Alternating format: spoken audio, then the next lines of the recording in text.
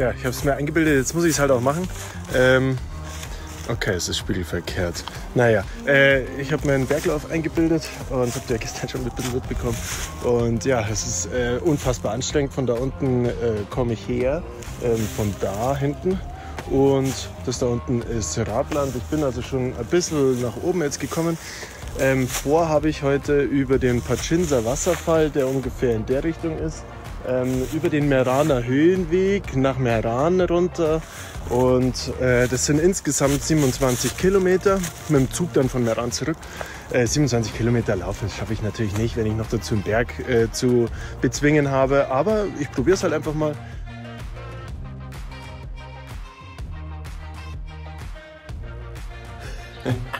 Ich habe Angst. Und da ich jetzt, gestern bin ich ein bisschen laufen gegangen, äh, fünf Kilometer, und da ich ja vorgestern hergeradelt bin, habe ich durchaus auch in den Muskeln spüre ich schon noch ein bisschen was. Äh, die 310 Kilometer da in den 14 Stunden, die ich gebraucht habe, um hierher zu kommen, die spürt man natürlich im Körper. Ansonsten bin ich hier recht, äh, ja, keine Ahnung, naiv unterwegs. Ich habe einiges dabei, ich habe ne, Jagdgeil dabei, ich habe ähm, genug zu trinken dabei, einige Riegel, ein bisschen was zum Essen noch zusätzlich. Zwei Finchgeil, Käse.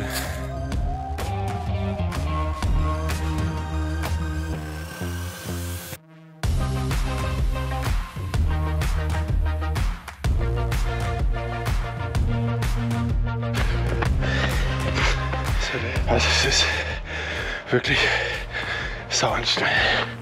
So, jetzt müsste ich auf dem richtigen Weg sein. Jawohl. Gott sei Dank. So. Ja, da geht's jetzt hoch. Alter, leck mir mal. Jetzt schon tot. Naja. Dann fange ich doch jetzt einfach mal an. Das Prokrastinieren hier immer. Ja, noch ganz kurz. Ich gehe noch ganz kurz.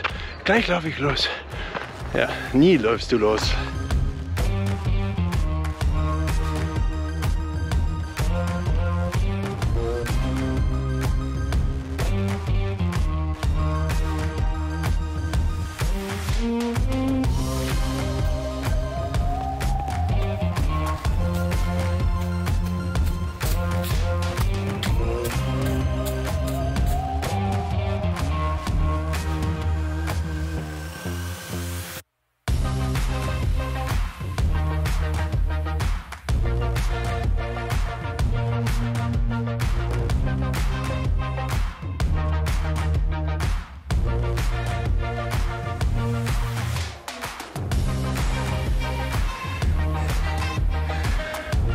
Mach mal das Bumpern von meinem Herz nach.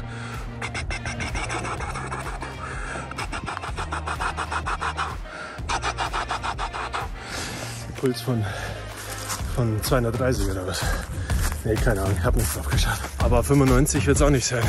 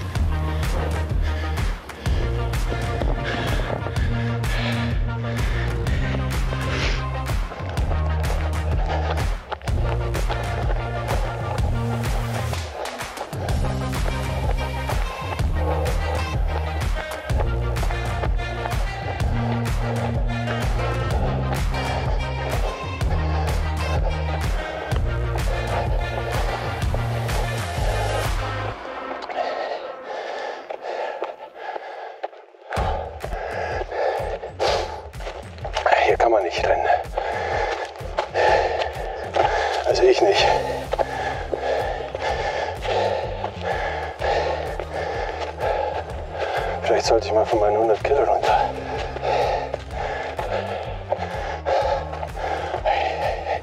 Wie, wie soll man sowas hier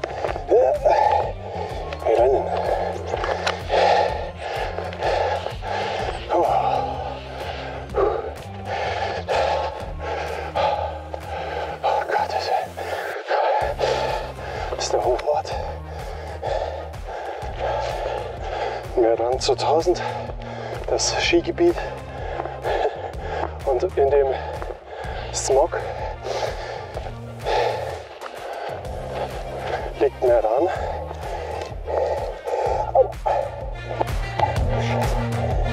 Solche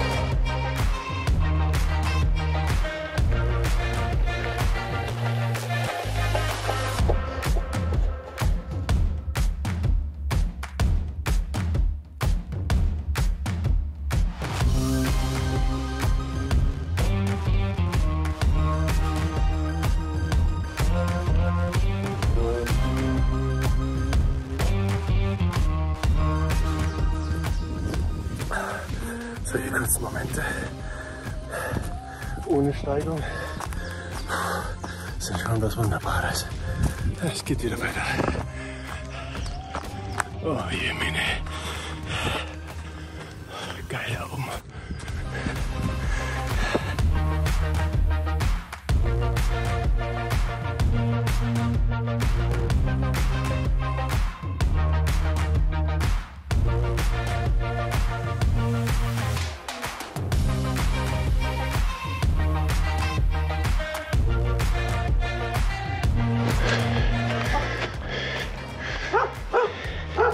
Fühlt man sich immer gut.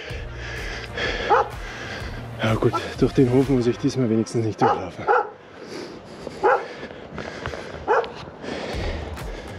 Mir wirkt mir etwas unentschlossen.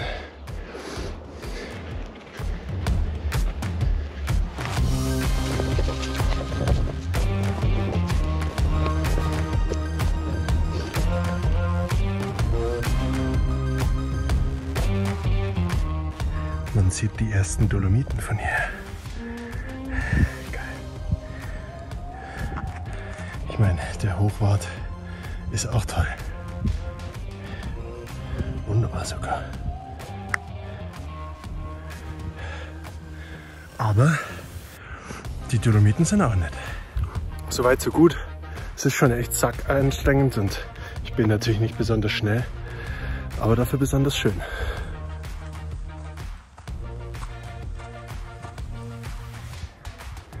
Wie farbenfroh so ein laubfreier, von Flechten überzogener Ast sein kann. Mal mit der Sonne. Ja.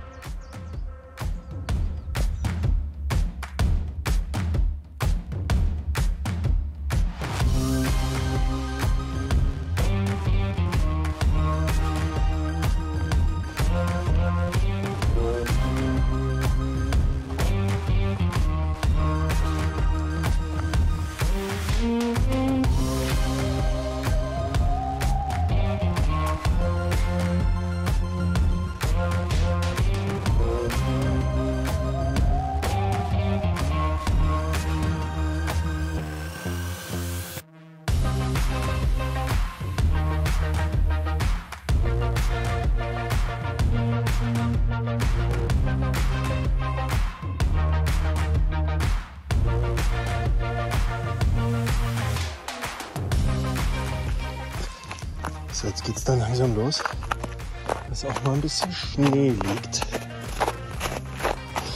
Ich habe jetzt keine Grödeln dabei. Aber ich jetzt hier. Ich gehe langsam, da wo Eis ist und Schnee. Aber ich hätte meine Schneeketten, sage ich jetzt mal, in Anführungsstrichen für die Laufschuhe mitnehmen können.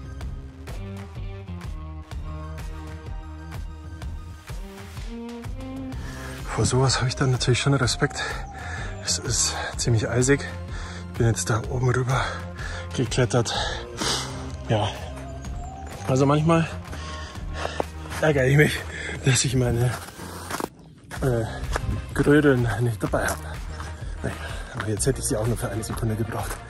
Das passt schon. Man muss halt vorsichtig sein und nicht nachlässig werden und sich denken, ja, das geht schon, passt schon. Vorsicht ist das halbe Leben.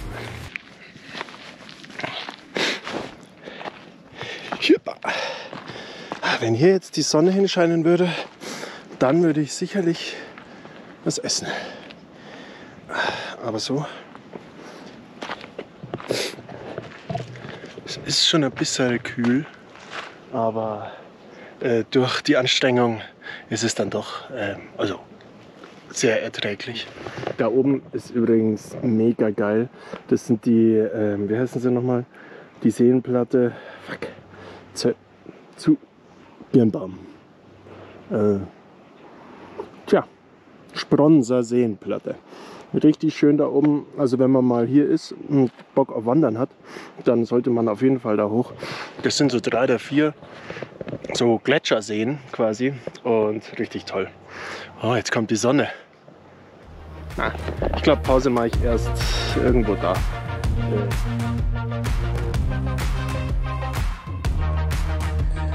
So, das ist jetzt das erste Mal eine bisschen eine größere Herausforderung. Ähm, ja, da geht es steil runter. Also hier riskiere ich bestimmt gar nichts.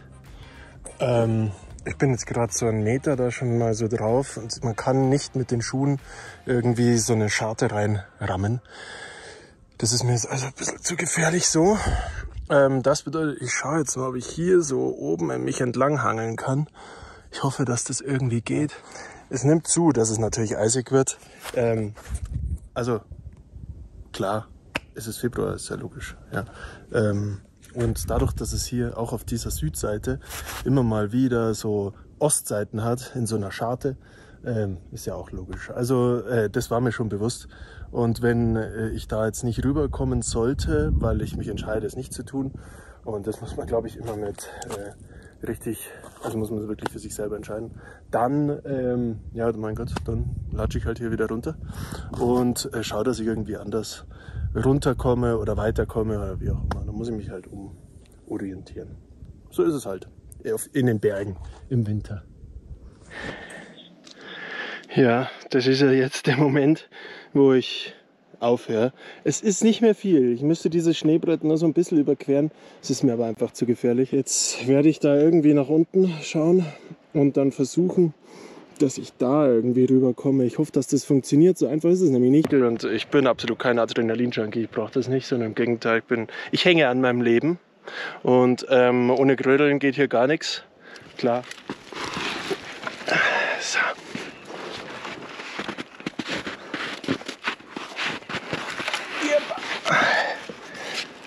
Komme ich jetzt gut entlang.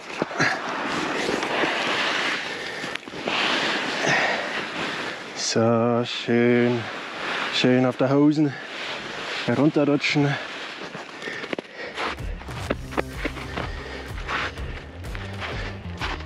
No risk, no fun. Nein, Schmarrn. So, das, das war's jetzt. Runter geht's. Naja, dann mache ich halt jetzt doch hier auf dem Bankerl ein Päuschen.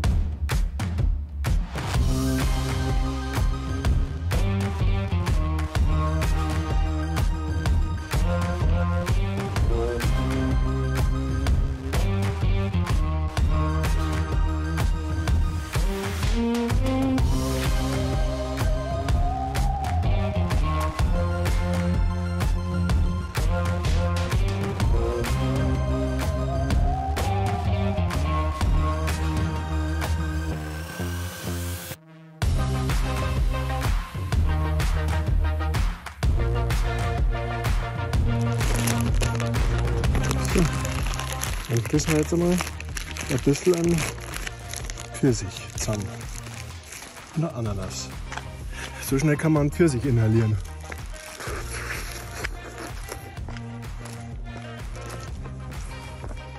Mhm. Mhm.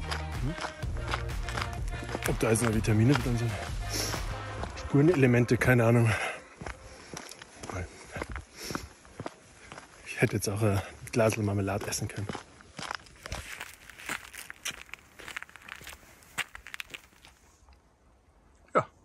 Schön. Wunderbar. Okay. Das ist mal auch die Frage, ob das schon sehr häufig passiert ist. Dass hier jemand in einer halben Sekunde einen halben Pfirsich gefressen hat.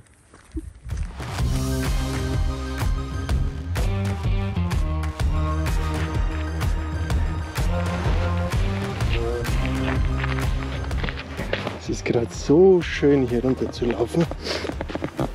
Das Laub ist nicht wirklich nass, sondern eher trocken. Trotzdem natürlich ein bisschen rutschig, also man muss da aufpassen. Aber es macht richtig Bock.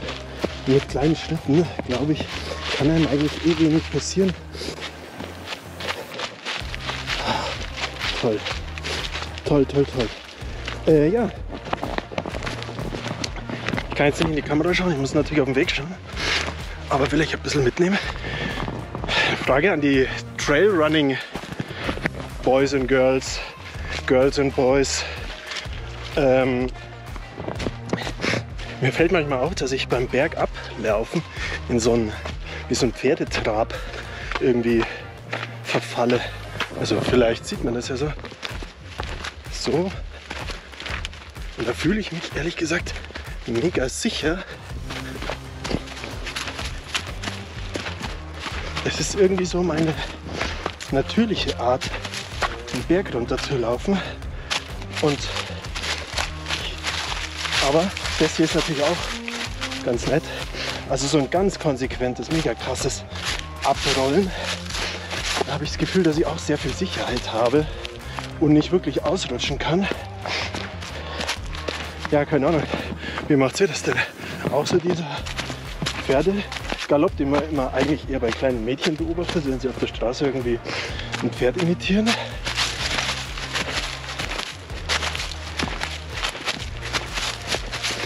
Oder eher das Abrollen von hinten von der Ferse aus.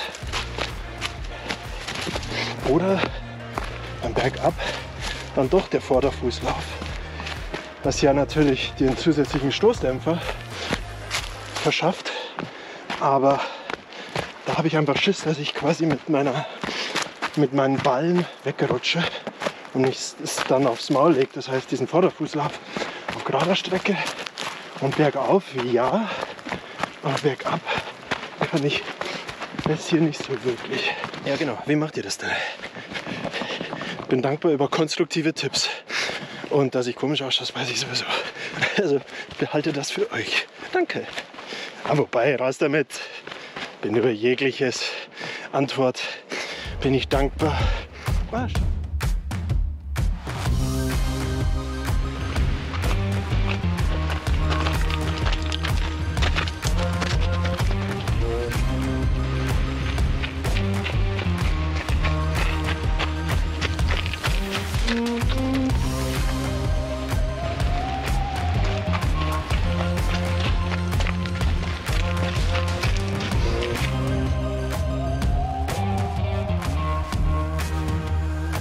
Ah, schön. Hier war wohl diesen Frühling schon der Spazieren, hat seinen Haifall da gelassen. Die Drecksau, die Dreckerte. Zu Daiwi. Vielleicht ist es auch nur ein Schnäuzer gewesen, aber da kann ich da auch mitnehmen, oder? Naja. Wie komme ich jetzt eigentlich noch mal mehr ran heute? Ich brauche doch diese Kopfhörer. Ich bin ja auf dem Depp wieder vergessen habe. Scheiße.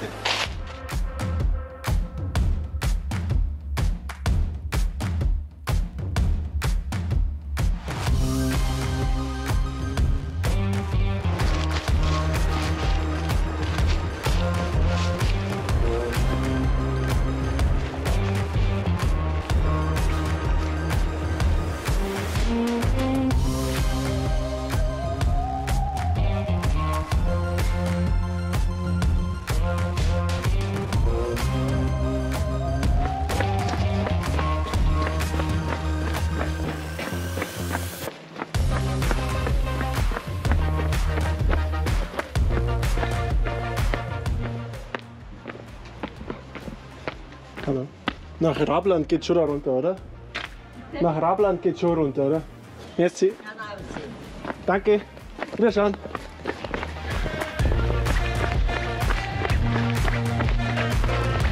Schön. Tourist Run.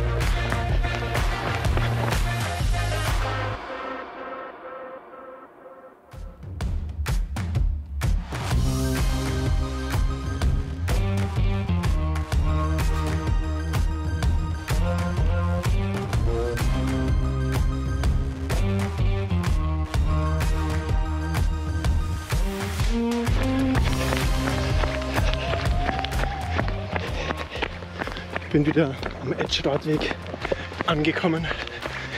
Jogge jetzt nur noch nach Hause. Und ja, bin sehr froh, dass ich das gemacht habe. Auch wenn ich meine Kopfhörer jetzt nicht habe. Die hole ich mir wann anders. Heute noch oder morgen mit dem Zug oder Radl. Ja, war jetzt ein Halbmarathon. Bin, bin bei 5 Stunden 6 und Kilometer 20 mit Höhenmeter weiß ich jetzt gar nicht.